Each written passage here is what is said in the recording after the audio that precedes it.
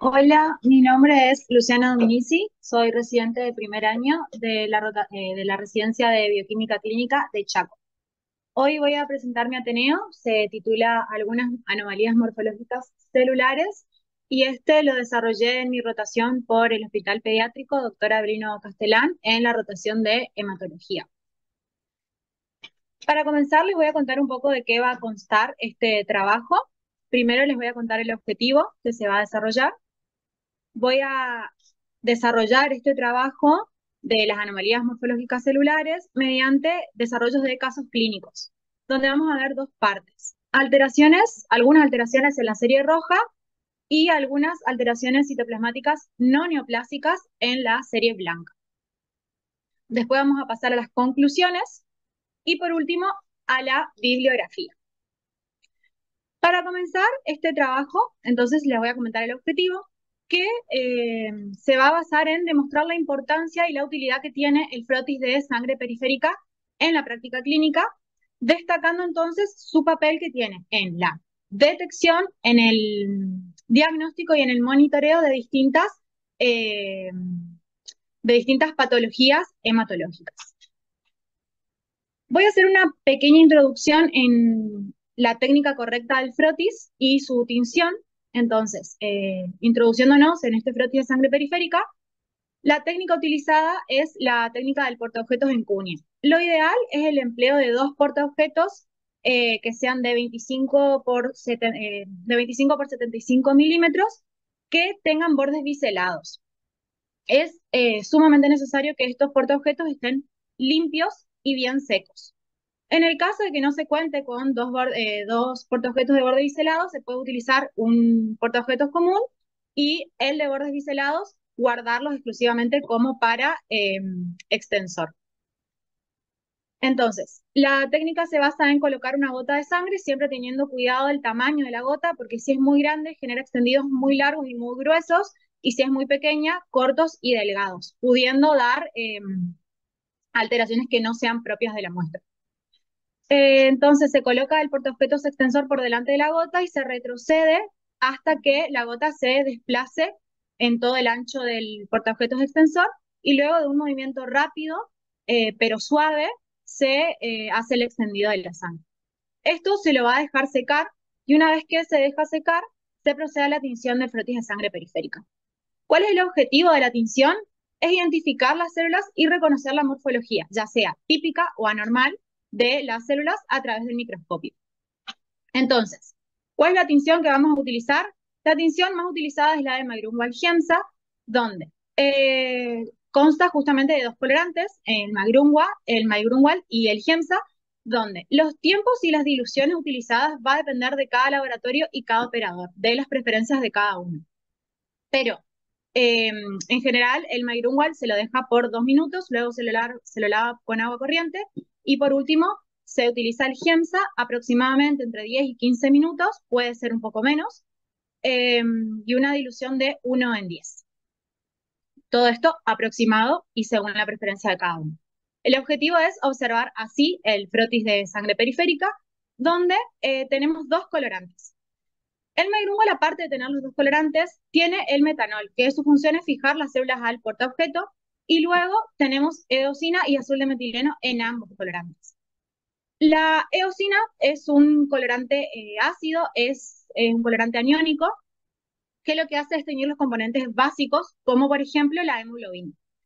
Y en el caso del el GIEMSA, estamos hablando de un colorante básico que va, eh, va a actuar como colorante catiónico y tiñe principalmente eh, contenidos de ARN, ADN y el núcleo.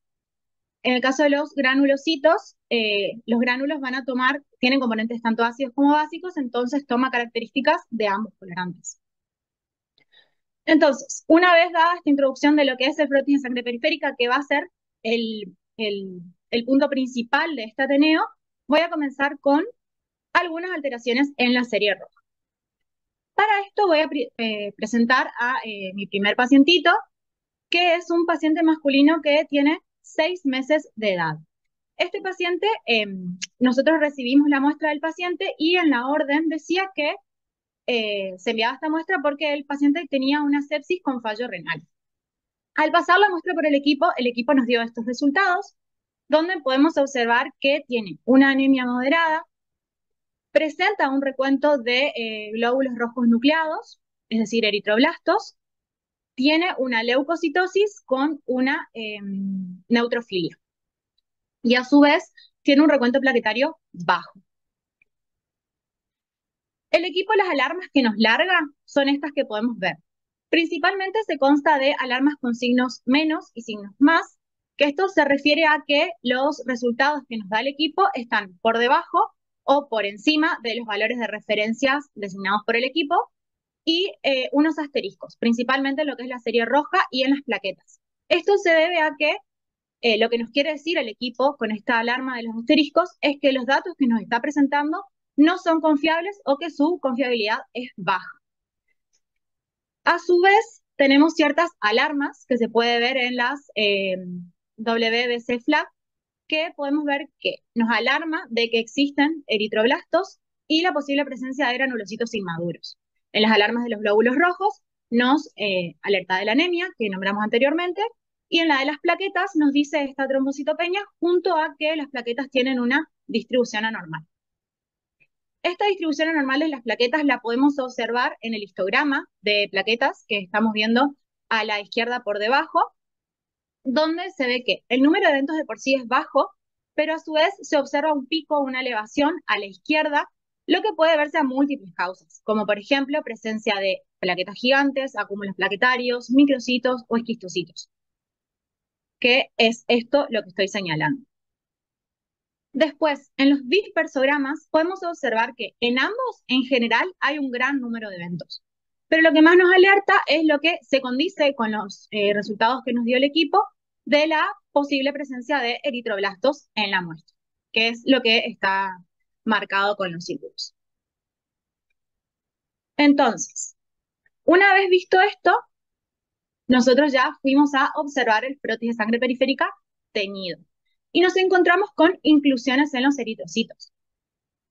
Entre estas, nos encontramos con cuerpos de Howell-Jolie que están contenidos con restos de ADN y estos pueden em, aparecer en, por ejemplo, em, en pacientes con esplenectomía, con hipoesplenismo, también se puede presentar en anemia megaloblástica. Después también nos encontramos con punteados basófilos, que son restos de ARN. Este se encuentra, por ejemplo, en talasemias o en intoxicaciones con plomo. Después también nos encontramos con anillos de Cabot, que estos se cree que son restos de uso mitótico y se presentan principalmente en síndromes mielodisplásicos. También los podríamos ver en, por ejemplo, anemias megaloblásticas. También observamos policromatofilia, que la policromatofilia es ARN retenido en los eritrocitos. Esto se asocia mucho, y más lo que vimos en el frotis, que eran, la mayoría de los que tenían policromatofilia eran macrocitos, se puede eh, corresponder con la presencia de eh, reticulocitos en la muestra. Otros hallazgos que vimos fueron la presencia de eritroblastos. El equipo nos dio un recuento de un, 28%. De igual manera, es muy importante que se haga el recuento de eritroblastos en el frotis de sangre periférica y en este caso se realizó y el recuento que se informó fue de un 22%. Pero estos eritroblastos no son eh, muy normales. El primero que se ve en la parte superior sí es un, eritroblasto típico, pero los demás no, porque eh, son eritroblastos con inclusiones como con cuerpos de Howell-Jolie, con punteado basófilo. Y también tenemos eh, un eritroblasto que tiene dos núcleos. Y estos, estos dos núcleos, al menos por lo que se podía visualizar en el frotis, no estaba unido por un puente eh, internuclear.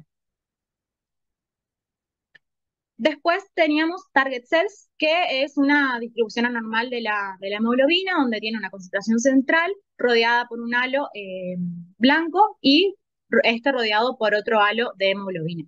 Esto se puede encontrar en hemoglobinopatías. Y por último, nos encontramos con esquistocitos en la muestra. En este caso, el médico, cuando nos envió la muestra, nos había pedido un recuento de esquistocitos porque tenía ciertos antecedentes que el paciente ya eh, tenía esquistocitos. Entonces, frente a sospechas de posible, eh, por ejemplo, síndrome urémico hemolítico, nos pidió un recuento. El recuento se le hizo y fue un 1%, un 1,2% de esquistocitos en la muestra.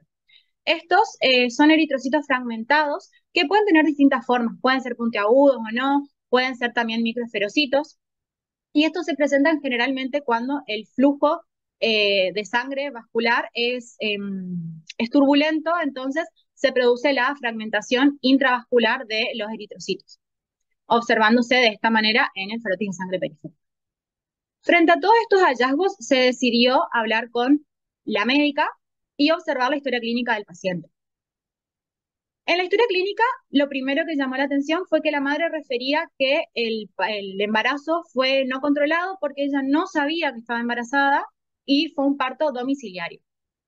Entonces, el paciente eh, ingresó al hospital de, em, de San Peña el 4 de junio eh, por una complicación respiratoria. Entonces, desde ahí decidieron derivarlo a el hospital pediátrico, donde llegó con una sepsis a foco pulmonar y enteral, con una ira prerrenal y la anemia moderada que habíamos observado.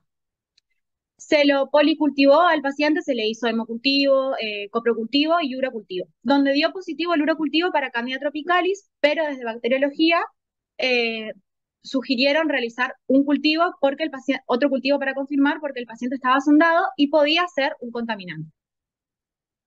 El paciente a lo largo de los días se complicó, llegó a tener un shock séptico con eh, una falla multiorgánica, tenía acidosis metabólica que constantemente necesitaba corrección, la que eh, recurría con hiper e, eh, hiper e hipocalemias, con un estatus convulsivo, arritmias y un distrés respiratorio. Ya frente a este estado del paciente, desde nefrología establecieron que el paciente tenía riesgo de óbito y fue que enviaron este hemograma que, eh, frente al recuento de histocitos, establecieron que podía tener un síndrome urémico hemolítico.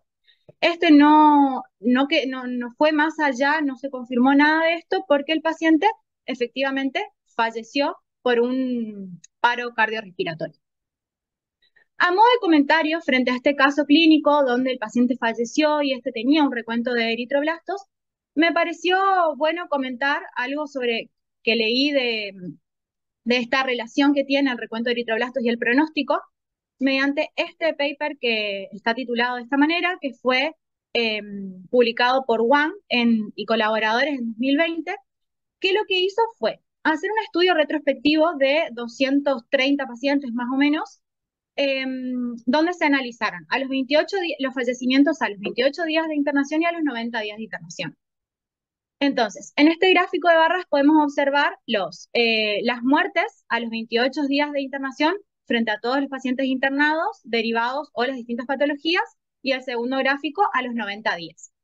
En los eh, las barras de color blanco son los pacientes fallecidos que no tenían un recuento de eritroblastos y en gris se pueden observar los que sí tenían un recuento de eritroblastos, donde podemos observar que el porcentaje de pacientes fallecidos dentro de cada una de estas clasificaciones es mucho mayor cuando estos presentan un eh, recuento de eritroblastos. Estamos hablando de que eh, es casi el doble de pacientes los fallecidos con recuento de eritroblastos.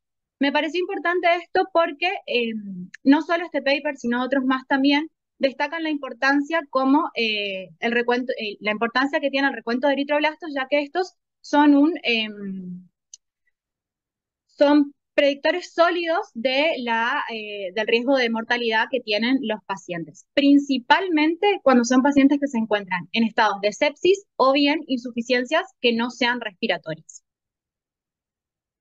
Entonces, para cerrar este primer paciente, el equipo, en este caso, sí nos alertó posibles esquistocitos eh, frente al observado en el, gráfico de las plaquetas y la presencia de eh, glóbulos rojos nucleados. Pero el flotín nos eh, reveló muchas más alteraciones en la serie roja que nos podía hacer referencia a el estrés que estaba pasando el paciente, al estrés medular que tenía por el estado tan grave que, en el que se encontraba. Entonces la médula estaba tratando de compensar no solo la hemólisis, sino todas las alteraciones que estaba teniendo, y esto da origen a una eritropoyesis ineficaz y este frotis tan complejo y tan variado. Por lo tanto, destacar la importancia que eh, tuvimos nosotros desde, desde el laboratorio al observar el frotis de sangre periférica, encontrando todos estos hallazgos e informándole al médico. Ya pasando a las alteraciones citoplasmáticas no neoplásicas en la serie blanca, voy a comenzar con eh, un casito clínico sobre un paciente que tiene una alteración no neoplásica adquirida. Esta paciente es una paciente femenina de 10 años, la que ingresó al hospital con una sepsis con fallo renal y fallo hepático. Este es su hemograma, donde lo que más nos alertó fue la anemia moderada que tenía, una leucocitosis con neutrofilia y nada más, nada más que nos llame mucho la atención. Las alarmas que generó el equipo fueron estas que se pueden observar, también algunos signos más, un signo menos, muchos asteriscos diciendo la baja confiabilidad que tenían eh, los recuentos eh, que se estaban informando. Y en la alarma de los glóbulos blancos podemos ver justamente esta neutrofilia, hay una leucocitosis, la posible presencia de granulocitos inmaduros, y en este caso sí se pidió al equipo que nos envíe un recuento de reticulocitos, el cual dio normal. Entonces, observando los gráficos eh, desde los histogramas de glóbulos rojos y plaquetas y de los reticulocitos, no hay tantas alteraciones más que una pequeña elevación en el nivel de las plaquetas. Y en el gráfico de los reticulocitos se puede observar ese, em, ese número de eventos en la región baja de, em, de pequeño tamaño, donde eh, podríamos estar encontrando lo que son los fragmentos, los debris, eh, los glóbulos rojos fantasmas o acúmulos plaquetarios. Esto también se, puede observar en los dispersogramas de los glóbulos rojos y los glóbulos blancos, donde estoy haciendo el ciclo. No mucho más, más que también un número de eventos elevado. Al ver el frotis del paciente nos encontramos con esto que podemos ver. Uno puede pensar, ¿son cuerpos de DOL? No. Estos son distintos en color, son distintos en tamaño, son mucho más compactos, son mucho más grotescos, más grandes. Entonces, eh, se las eh, clasifica como inclusiones en los neutrófilos que pueden deber, perdón, se los clasifica como cristales críticos. Estos cristales críticos son inclusiones que se presentan en los neutrófilos las que eh, se pueden deber por la fagocitosis de determinados productos biliares, como por ejemplo una biliverdina o la lipofuxina liberada por el parénquima hepático en necrosis. Hay pocos casos reportados de estos hospitales críticos y los pocos que hay, eh, los pacientes eh, fallecieron entre las 24 y las 48 horas luego de que estos fueron informados. Entonces también se los conoce como cristales de la muerte. Estos, em, como fueron pocos los casos reportados, falta mucho estudio de los mismos desde, por ejemplo, su origen. Por lo tanto, no se sabe exactamente de qué están compuestos, pero la principal hipótesis es que es esta lipofuxina que es liberada por las células necróticas, entonces los neutrófilos tratan de eh, fagocitarlas y eliminarlas, y eso es lo que nosotros estamos viendo en el frotis de sangre periférica. Estos casos se ven mucho en pacientes que tienen una falla hepática fulminante. Entonces se decidió hacerle la química a la paciente y la química nos dio con un valor de GOT y GPT elevados, correspondiéndose con lo que se sospechaba. Se decidió informar inmediatamente al médico justamente por em, que son cristales críticos, nos están alertando que la paciente tiene un riesgo de óbito. Entonces, al hablar con el médico, eh, se le informó y ellos tomaron las eh, respectivas em, determinaciones eh, médicas que necesitaban y nosotros decidimos observar la historia clínica de la paciente.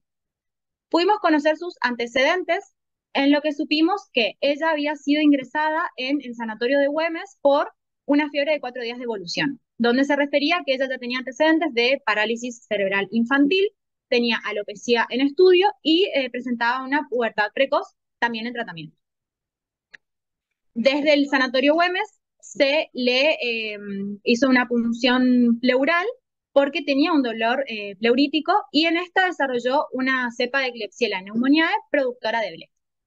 Se la trató, la paciente respondió al tratamiento durante 10 eh, días, fue tratada, pero la fiebre persistía sin un foco infeccioso evidente, donde la paciente desmejoró entre 2 y 24 horas, teniendo primero vómitos biliosos, y luego estos evolucionaron a una hematemesis, es decir, vómitos no solo biliosos, sino que también con sangre.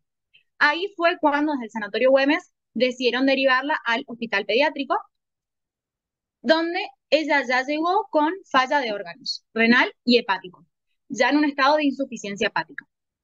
Se refirió a un alto riesgo de mortalidad y esta fue la muestra que a nosotros nos llegó donde se observaron estos cristales críticos, correspondiéndose con esta insuficiencia hepática también sus valores de GOT y GPT.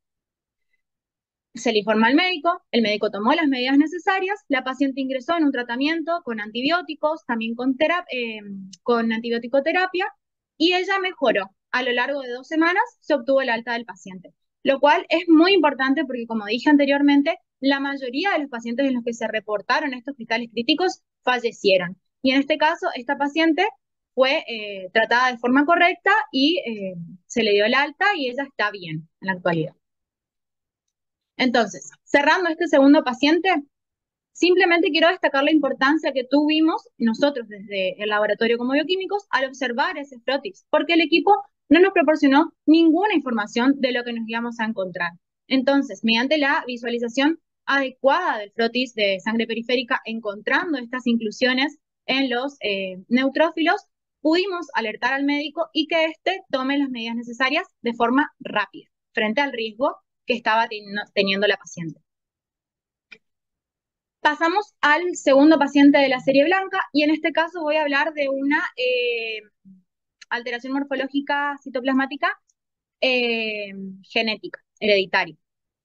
En este caso se presenta un paciente masculino de dos años de edad. Este es su, su hemograma donde simplemente nos alertaban los, algunos índices hematrimétricos, como el BCM por debajo, un RDW relativamente un poco elevado, donde el equipo nos largó estas alarmas. Simplemente algunos signos más, algunos signos menos, para recordar qué significaba que estaban por encima o por debajo del límite eh, de referencia eh, establecido por el equipo.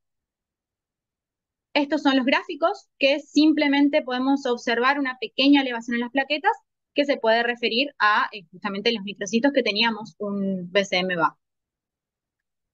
Al ver el frotis del paciente nos encontramos con estos.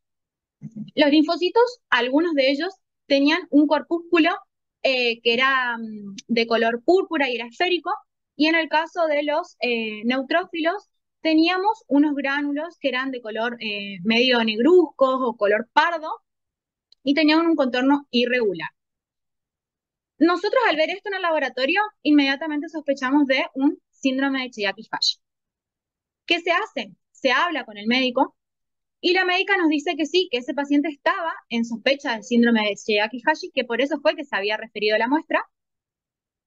Y Em, nos cuenta que era, esta sospecha era por las características fenotípicas que el paciente tenía, donde em, era mm, un aspecto albino de color y pestañas plateadas, se le dice, que son un color blanquecino, y esto se debe a que en el síndrome de Chiaki-Hashi se forma poco o nada del pigmento de melanina porque están alterados los lisosomas, y los lisosomas son los responsables de transportar los melanocitos.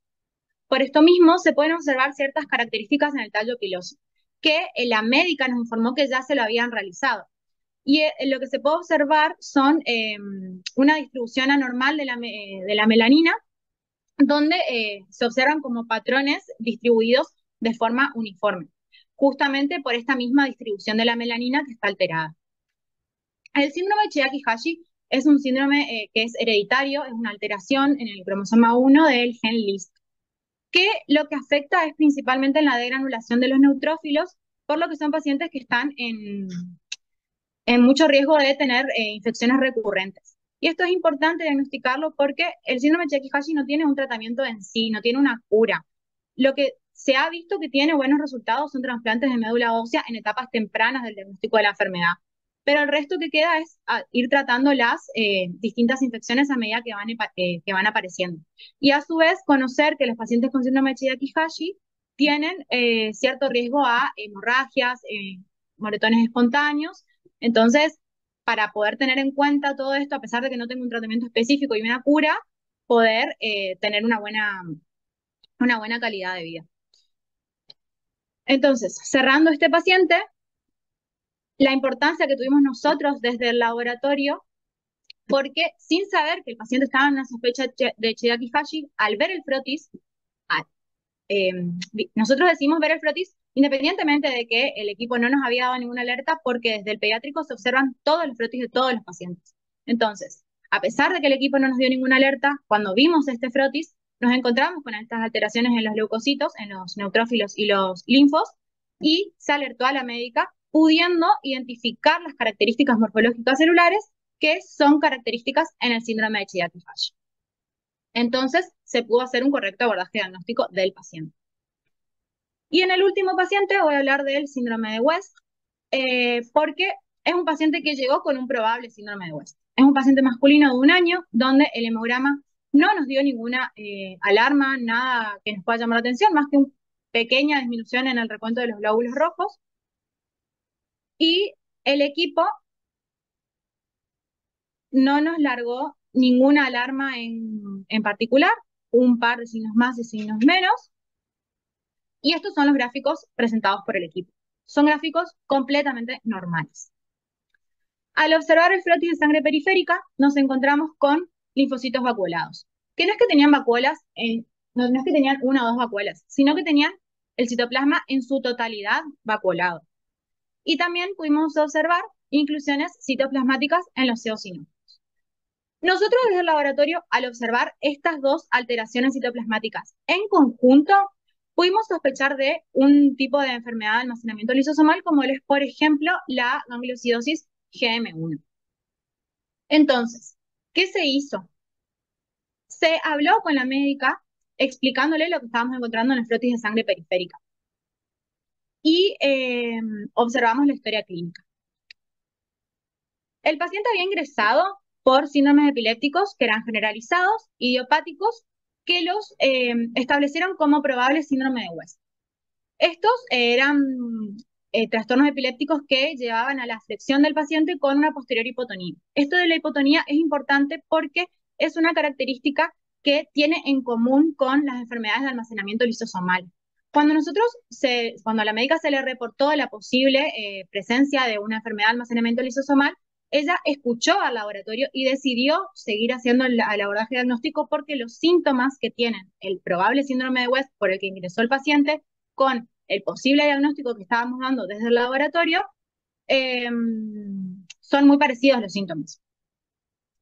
Entonces, al paciente cuando ingresa por estos síndromes epilépticos, se lo decide internar porque presentó una raudización respiratoria, es decir, el paciente tenía dificultad para respirar.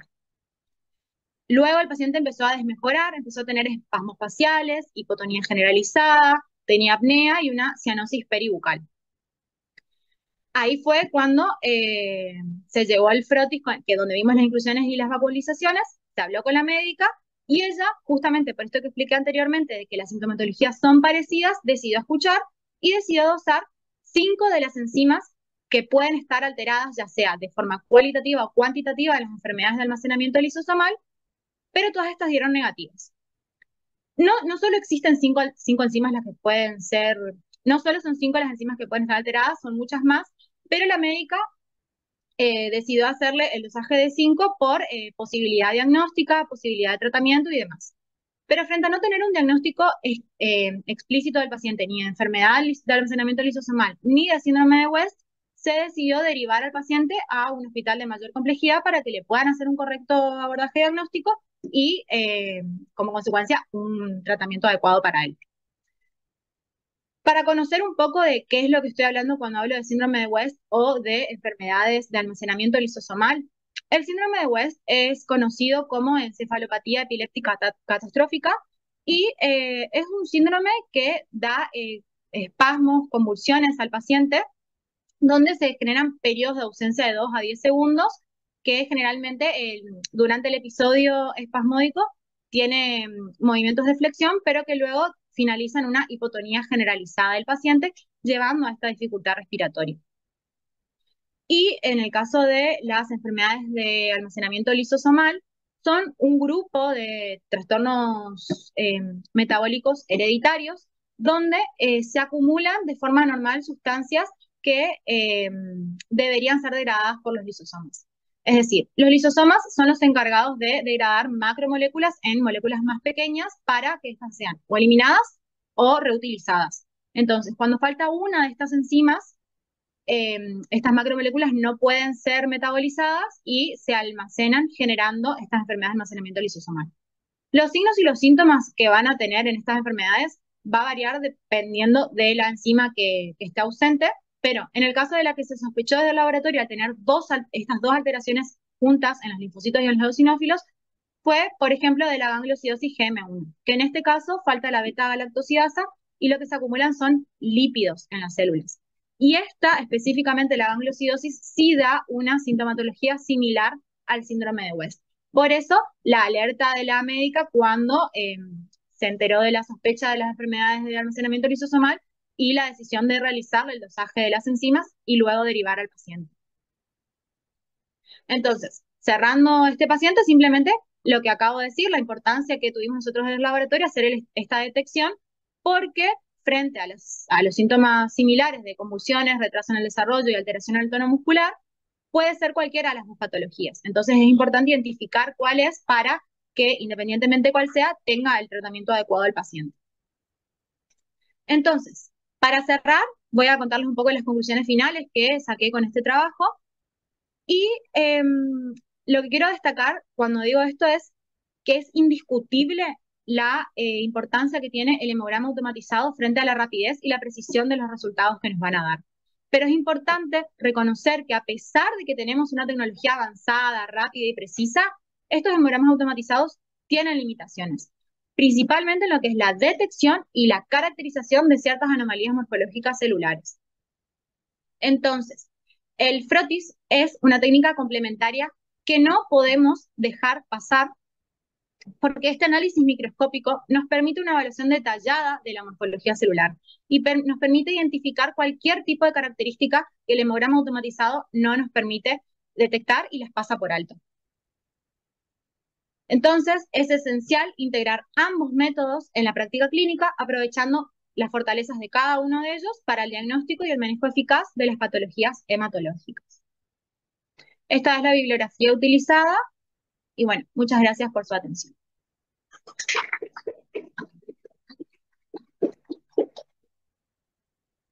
no sé si tienen alguna duda o algún aporte.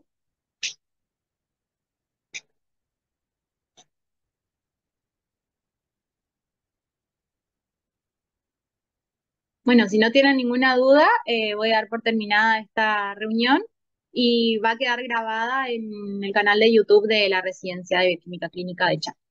Muchas gracias.